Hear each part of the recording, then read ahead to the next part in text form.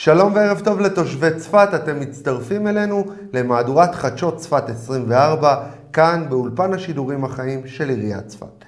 הסיפור המרכזי של השבוע, רוח גבית לבירת הגליל, גם ממשרד האוצר. לאחר למעלה מ-20 שנה בהם לא התארחו נציגי עיריית צפת בלשכתו של שר האוצר, השבוע סוף סוף זה קרה.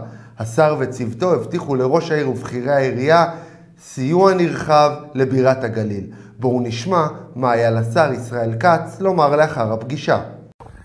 סיימנו עכשיו אה, פגישת עבודה עם הצוות וברשות שר, שר האוצר. אני רוצה להודות לשר האוצר על הנושאים המשמעותיים שהולכים לקדם בעיר צפת ובכלל בכל אזור הגליל. אני חושב שיש לנו פה שר אוצר מעבר למילה בולדוזר, אלא מסייע לגליל בכלל ולצפת בפרט, בנושאים מאוד מאוד משמעותיים, שאני חושב שזה לא רק אה, אה, הסיוע, אלא האוזן קשבת, הייעוץ וההכוונה לקידום נושאים משמעותיים בעיר צפת, אם זה כביש ואדי חמא, רכבל, אה, הצעת מחליטים, אה, נושאים של פרויקט ההמראה, אה, כל נושא ההטמנה וכל נושא עיר עולים, נושאים משמעותיים שיביאו לצפת בשורה משמעותית. בבקשה, שר.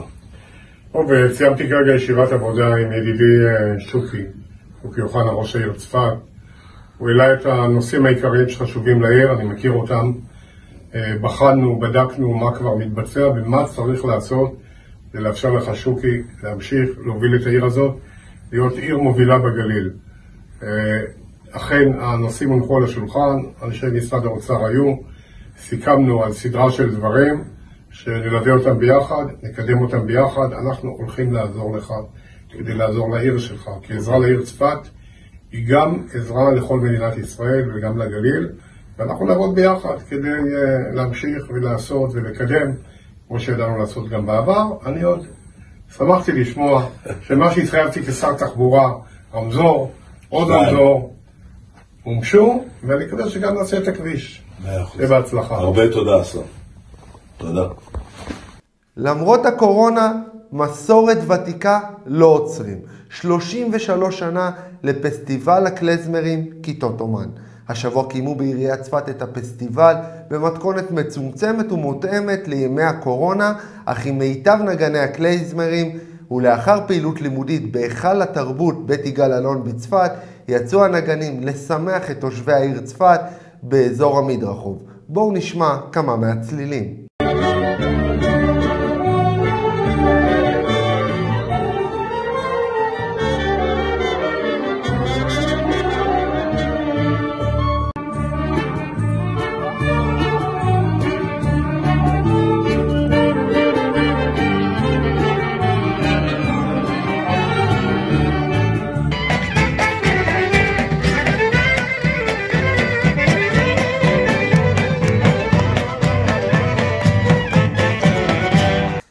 המנגינה הזו אי אפשר להפסיק.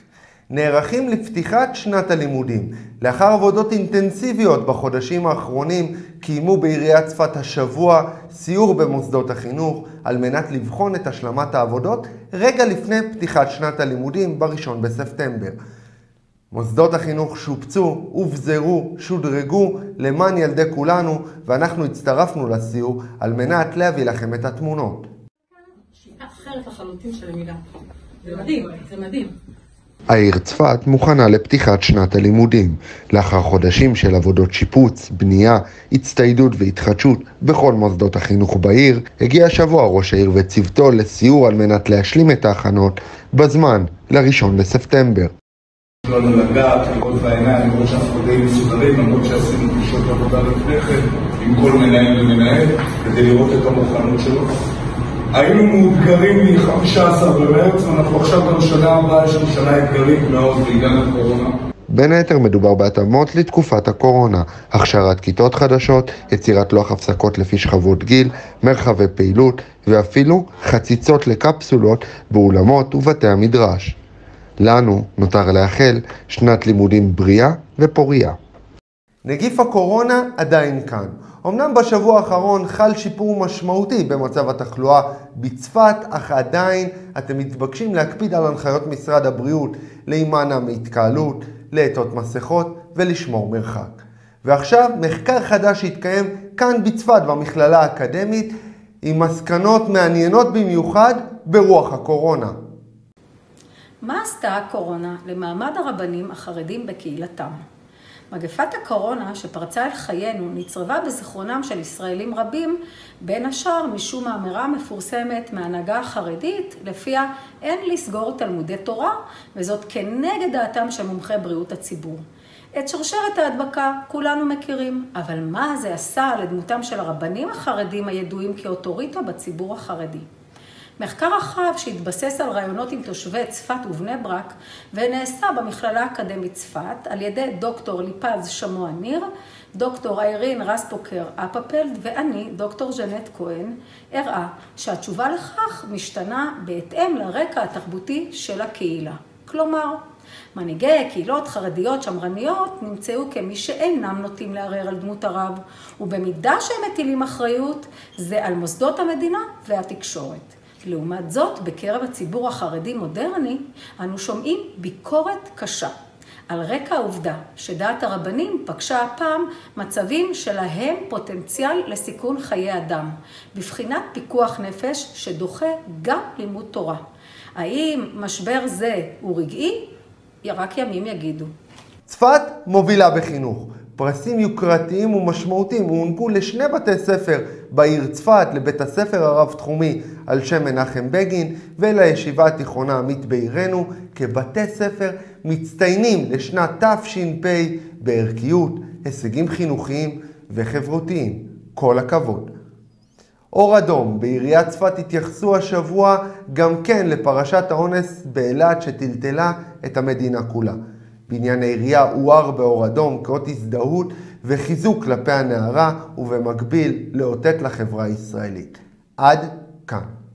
מהפכת הניקיון והטיפוח של עיריית צפת נמשכת. השבוע בוצעו עבודות שתילה וצביעה בכל רחבי העיר צפת. כמו כן, ריכוזי מאמץ לעבודות ניקיון בוצעו בשכונות הדרום, אי ביקור ושכונת כנען, לרבות שטיפת הפחים. זכרו, אנחנו מנקים, אתם שומרים. זו הייתה המהדורה השבועית שלנו, תודה שהייתם איתנו, המשך ערב טוב וסוף שבוע מצוין.